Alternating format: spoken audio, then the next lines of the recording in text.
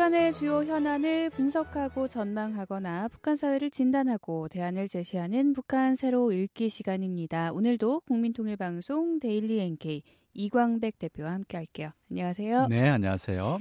네, 대표님. 아, 탄광에서 일하던 네. 노동자들이 사망하는 사고가 발생을 했다고요. 네, 맞습니다. 황해북도 송림군에 있는 송림탄광 채석장에서 네. 갱도가 무너져서 노동자 10여 명이 사망하는 사고가 발생을 했습니다. 송림탄광 채석장 갱도에서 밤낮으로 일하던 노동자들이 갱도 기둥이 무너지면서 네. 한꺼번에 어. 사망하는 참사가 벌어진 건데요. 소식통에 따르면 사고 당일 탄광 노동, 어, 노동자들은 지하 막장의 가장 깊은 곳에서 이제 점점점 더 깊이 갱을 예. 파고 있었다고 합니다.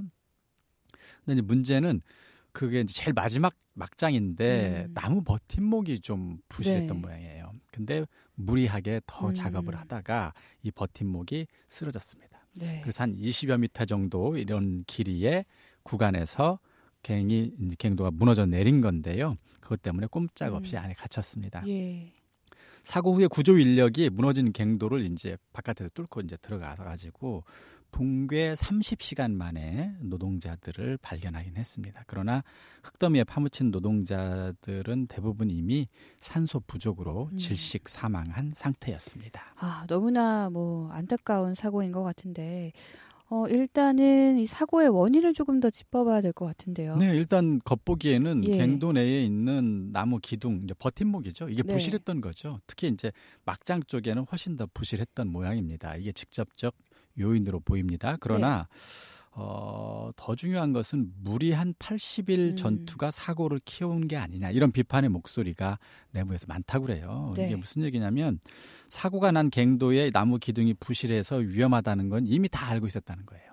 그 사람들도. 예. 그런데 송림 탄광이 80일 전투에 돌입하면서 작업 시간이 밤 시간까지 크게 늘어나 버렸어요. 그리고 목표를 달성해야 되니까 무리한 목표를 달성해야 되니까 위험한 줄 알면서도 작업을 음. 강행한 거죠. 네.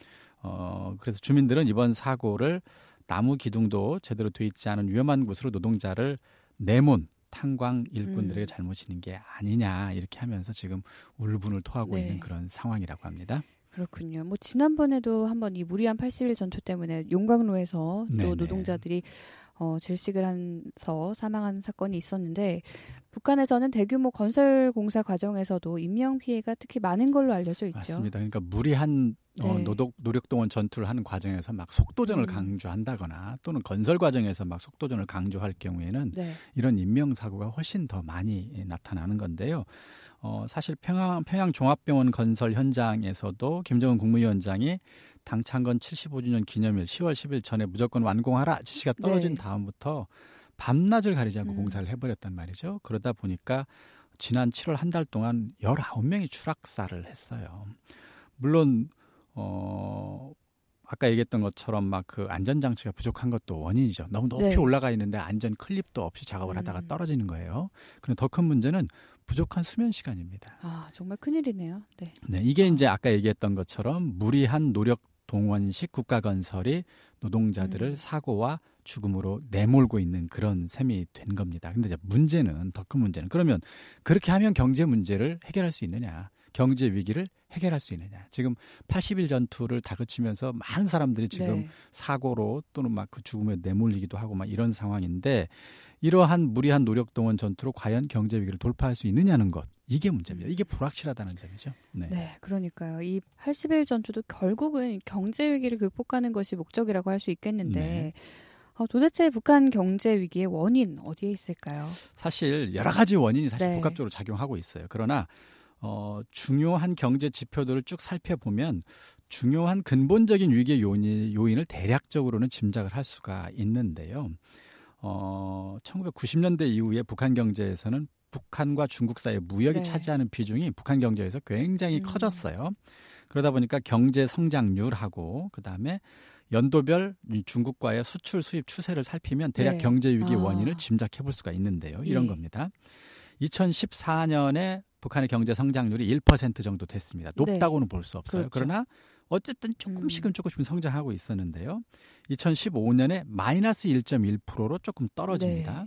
네. 2016년에 다시 3.9%로 조금 올랐다가 2017년에 마이너스 3.5%, 음. 2018년에 마이너스 4.1%로 경제 성장이 급격히 떨어집니다. 네. 성장률이.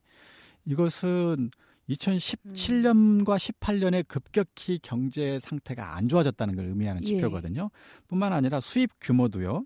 2014년에 한 44억 달러 중국으로부터 수입했습니다. 네. 그리고 2015년에 35억 달러, 2016년에 37억 달러, 음. 2017년에 37억 달러 이렇게 하다가 2018년에 26억 달러로 갑자기 10억 아. 달러 정도가 뚝 떨어져요 네. 수입액이. 네. 그리고 역시 2019년에 29억 달러 정도 되는데 어쨌든 2014, 15년에 30에서 40억 달러 정도의 수입액에 비해서는 큰 폭으로 줄었어요. 예. 수출은 더 중요한데요. 2014년에 대략 한 31억 달러 수출했는데 2015년에 27억 달러로 소폭 떨어지더니 네.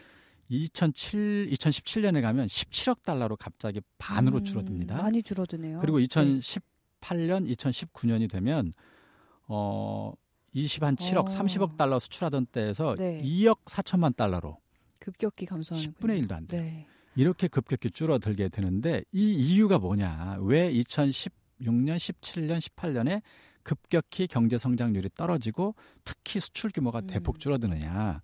이게 바로 유엔의 핵과 미사일 개발 금지 규정을 김정은 정권이 어기면서 네. 유엔으로부터 지속적인 대북 제재를 받았기 때문인 것이죠. 그래서 또 여기에 이제 코로나 사태로 인해서 북중 무역이 감소하면서 더 심각해진 음. 상태 이런 걸 보면 근본적인 그 경제 위기의 원인은 사실 네. 북한 정권의 핵 개발 정책이거든요. 그러네요. 네, 이런 네. 점들을 간과하지 않고 이 문제를 해결하지 음. 않은 채 무리하게 80일 전투를 아무리 다그쳐도 근본적인 해결은 아마 어려워 보인다는 겁니다. 네, 특히 뭐 올해 들어서는 정말 어, 2018년, 19년과 비교도 안 되게 더 지금 줄어들어서 문제가 되고 있는데, 네. 어, 그렇다 해도 김정은 시대에 들어서 과거와 달리 좀 경제적으로 변화가 있었다, 뭐 이런 평가도 있지 않습니까? 네, 그 경제적 변화는 사실 네. 어떻게 보면 김정은 정권의 적극적 정책에 의한 것이라기보다는 예. 1990년대 중반 북한 사회주의 시스템이 아예 무너지면서 예를 들어서 국영기업 운영이 음. 거의 안 되거나 네. 또는 배급을 못 주게 되면서 자연스럽게 생긴 시장 경제 시스템, 시장 경제 음. 제도 이것이 네. 사실 북한 경제를 지난 한 10년간 꾸준히 성장시켜 온 것은 사실입니다. 그래서 시장화가 진행이 되고 특히 북중 무역이 급격히 증가하면서 2000년대 초반까지 경제 위기가 대단히 심각했잖아요. 수백만이 굶어 죽을 정도로. 예. 근데 그것을 어느 정도 극복하고 경제 성장을 소폭이나마 이루었던 음. 것이 사실입니다. 자, 문제는 2016년과 17년 핵과 미사일 개발로 경제 성장이 멈추면서 네. 경제 위기가 지금 3년째 지속되고 있다는 것이 문제입니다. 그래서 매년 약 한 20억 달러 정도 적자를 볼 정도로 이 경제 위기는 대단히 음. 심각한데요. 네. 어, 그 이전에 어떤 부분적 경제 어, 개혁 이것도 지금 한계가 많이 예, 있어가지고 네. 앞으로도 꾸준히 경, 음. 지속적인 경제 성장을 하기 어려운 상황, 이런 복합적인 경제 위기에 지금 직면해 있다고 볼 수 있겠습니다. 네, 그렇다면 북한이 경제를 어느 정도 좀 어, 제자리로 돌려 놓으려면 어떤 점들이 개선되어야 할까요? 사실 북한 경제를 어쨌든 2016년, 17년 이 대북 제재 이전까지 네. 꾸준히 어쨌든 성장시켜 온 것이 어떤 거였냐면 이 시장화, 장마당이 확산되면서 어, 상업 유통이 주도하는 음. 서비스 산업이 네. 북한 경제를 사실상 주도해 왔습니다. 그 전까지 국가 계획 경제에서는 중화공업이 북한 경제 성장을 주도해 왔는데 사실 계획 경제가 사실상 음. 무너지면서 네. 지금은 시장과 장마당을 중심으로 하는 상업 유통업이 발달했고 이것 때문에 운수업이라든가 숙박업이라든가 소규모 생산 자영업이라든가 이런 서비스 산업이 급격히 지금 음. 발달하고 있는 것이죠. 그래서 민간은 종합시장을 중심으로 경제를 성장시키고 있고요. 정부도 대규모 중화공업은 지금 어렵지만 그러나 네. 관광 산업 중심으로 어쨌든 서비스 산업이 발전하고 있는 그런 상황이라고 보면 되겠습니다. 근데 문제는 이 민간 종합 시장 활성화를 위한 대책을 사실 정부 당국에서도 좀 더 적극적으로 내놓는다면 네. 이 추세를 더 이어갈 수가 아. 있을 거예요. 예를 들어서 과감한 노동 계획이 필요해요. 이게 무슨 뜻이냐면 북한 노동자들은 사실 거의 대부분 국가가 정해준 직장에 의무적으로 출근을 해야 됩니다. 네. 문제가 있어요. 거기서 주는 월급이 5천 원이에요. 네. 쌀 1kg 살 수 있는 돈이에요. 아. 근데 그나마도 안 줘요 대부분의 직장이. 네.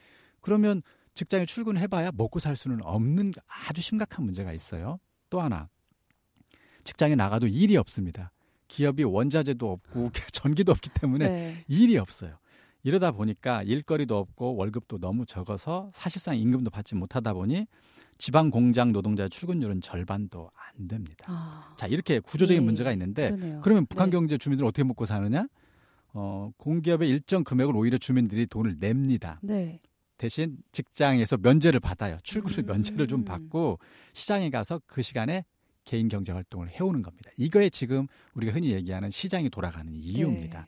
이것을 근데 북한 당국은 이것을 어설프게 지금 봉합해 놓고 있는데 그러지 말고 그 기업에 꼭 필요한 인력만 남기고 나머지는 과감히 경제 활동할 음. 수 있도록 보장을 해줘야 네. 되는 것이죠.